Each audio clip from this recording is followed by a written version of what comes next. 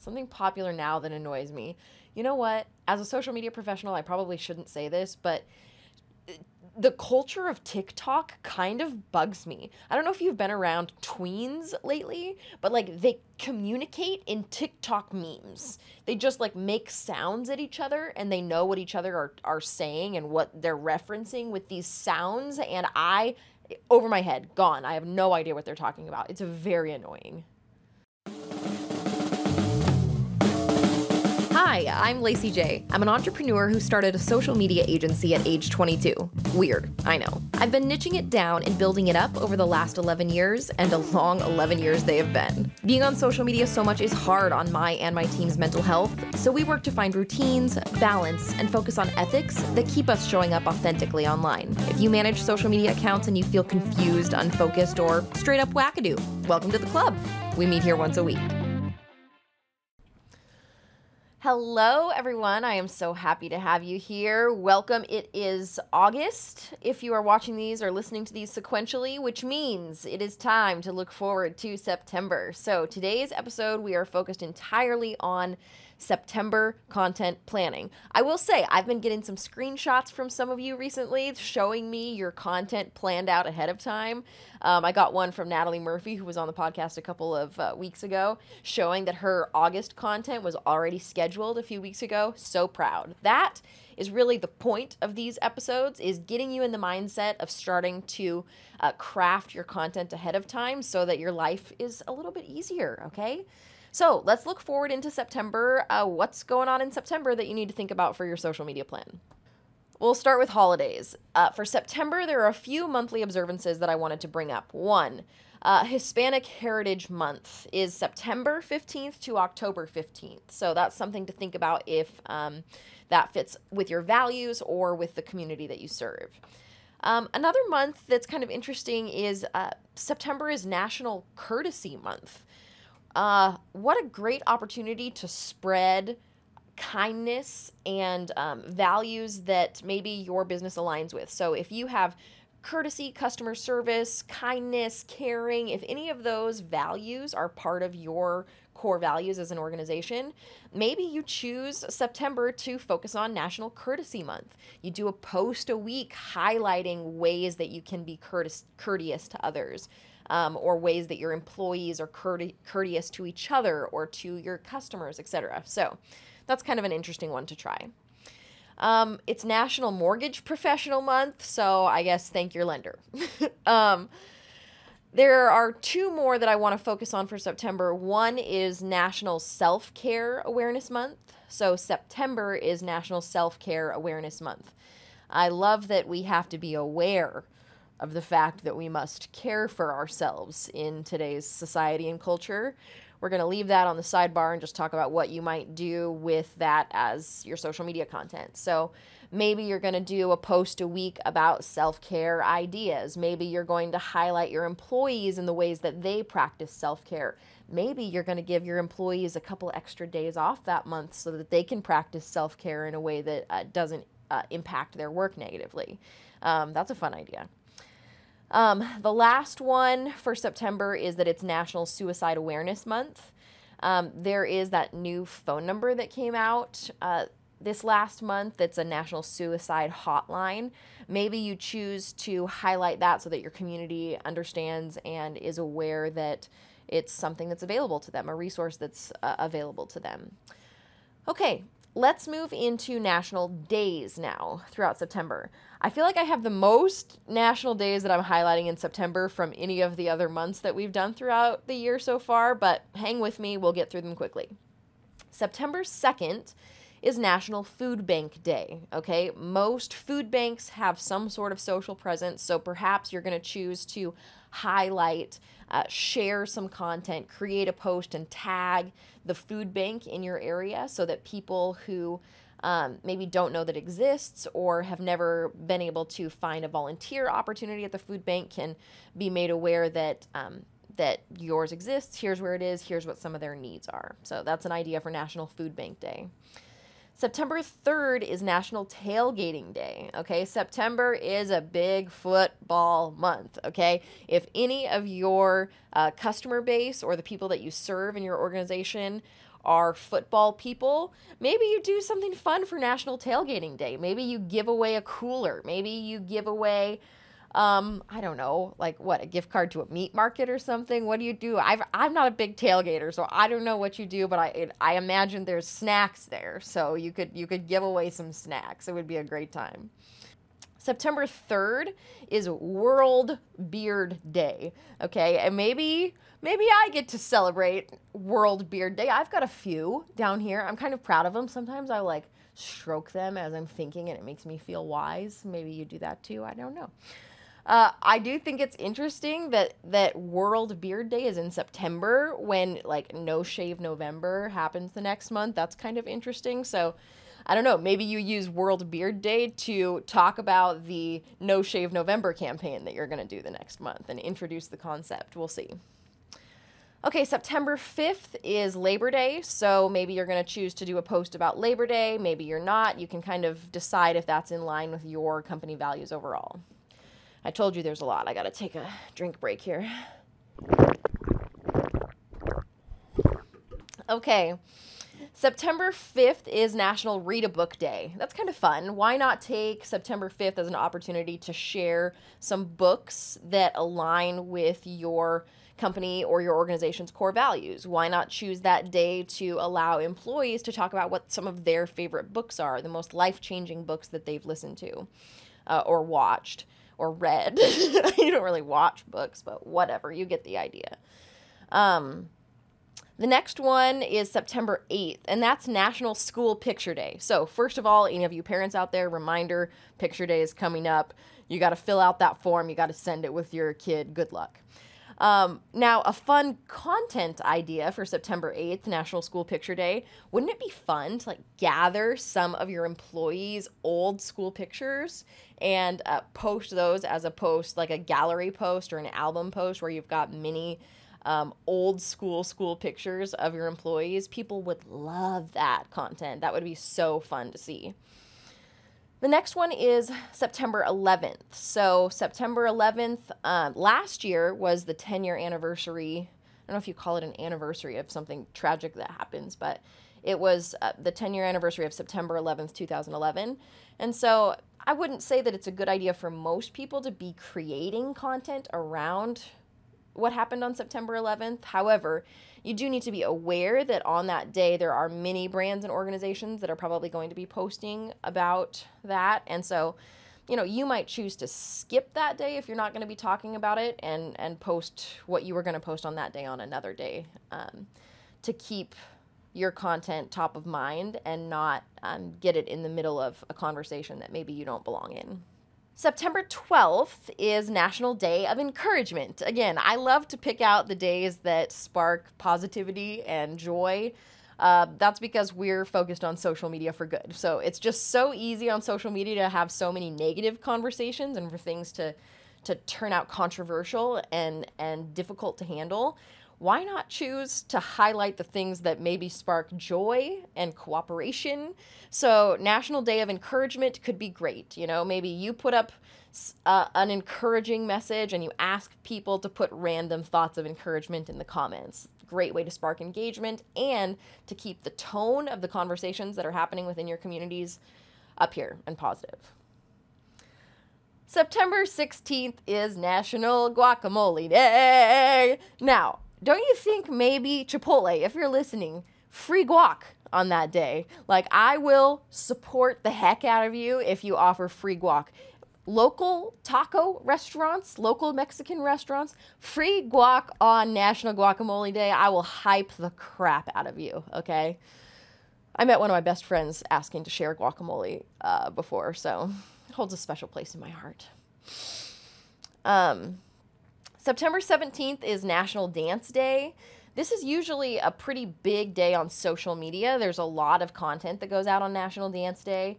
Um, it'll be interesting to see what happens on TikTok on National Dance Day since TikTok is so centered around um, body movement and, and dance type of things anyway. It'll be fun to see if maybe there's some specific dance trends that happen for that day. Um, I'll be watching out for it. Okay, we're almost through the national days for September. The next one is September 19th. September 19th is National Talk Like a Pirate Day. Are you going to do that one or not? I, I, I don't know if I'm going to. Maybe I could do a joke. Um, I have this Laffy Taffy joke um, that's how much does it cost for a pirate to get his ears pierced? A buccaneer. So maybe we do a pirate joke on uh, September 19th. September 20th is National Voter Registration Day. We're going to talk about this overall concept a little bit more later in the episode, but um, it's voting season. Okay, so things on social media are getting a little cuckoo bananas around that time, but uh, if you want to be a brand that's not taking um, a side in any sort of political conversation, you can still talk about the importance of voting. That's one of the safest things that you can do to just keep people engaged in. Um, in politics in a way that isn't divisive is just promoting voting. So, National Voting Registration Day is uh, September 20th. Maybe you highlight that and put links to any of the resources that people might need to get that done properly. September 22nd is fall equinox. Um, so, beginning of fall, end of summer. I always hate saying goodbye to summer, but fall is quite beautiful too, and pumpkin spice season is great. I, I love good uh, pumpkin cream cheese muffin with my coffee. Ugh. Oh my God, can't take it. Speaking of coffee, September 29th is National Coffee Day. So if you are a coffee shop and you're running the social media, it's going to be a big day for you. It'll be fun. Uh, prep for it, okay? Do a little prep work. Um, start putting out a specific hashtag that you want people to use. Um, start, maybe you give a National Coffee Day deal if you're a coffee shop that you promote through your social media. Um, if you are not a coffee shop, uh, maybe you highlight local coffee shops that you love. Maybe you find out the uh, favorite drinks from your employees and you talk about them on September 29th, National Coffee Day. The last day that I want to talk about in September is September 30th. September 30th is Orange Shirt Day, okay? Orange Shirt Day promotes awareness about the Indian residential school system still impacting Native American communities in the United States and Canada. It's also known as National Day for Truth and Reconciliation, and the day honors the children forced into Indian boarding schools. In addition, the day also remembers those who never returned home. If this is the first time that you're ever hearing about this, it would be a great idea for you to dive in and get a little bit more education about this. I would recommend channels like Illuminative on Instagram, um, women led, native women led organization that provides immense education on um, issues affecting Indigenous people. So, um, learn a little bit more about that. When I have spent over the last couple of years um, learning and diving into that type of content, uh, it has changed my life and my worldview in a way that I am very grateful for. So, hope that maybe you can get some of that education too. Okay, let's move into themes for the month. Okay, so in September, what's going on in the world? Let's talk about it. Um, first of all, the midterm elections are coming. Okay, so it's it's September.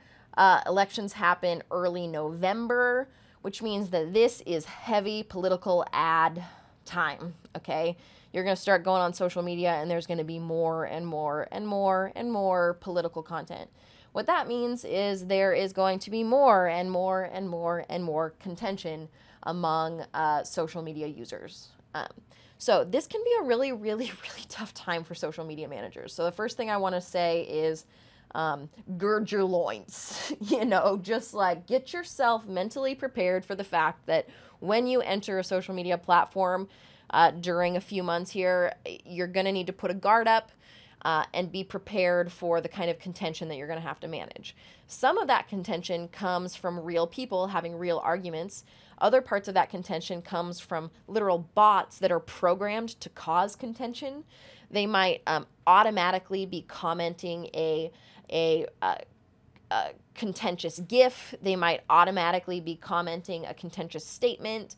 Um, it's a really tough time for social media managers. So gird your loins protect your mental health, set some really good boundaries around your social media use during this time, or else it's going to be super, super hard for you to uh, come up with anything creative during this time because you're going to be spending all your time just angry at uh, the contention that you're having to witness every day.